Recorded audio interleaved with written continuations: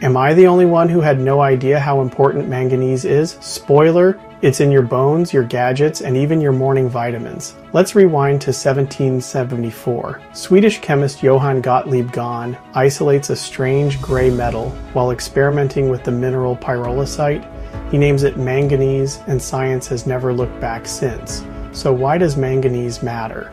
For starters, it's essential in steel making. Without it, your bridges and skyscrapers would be a lot weaker. Manganese removes impurities, making steel tougher and more durable. But it's not just about metal.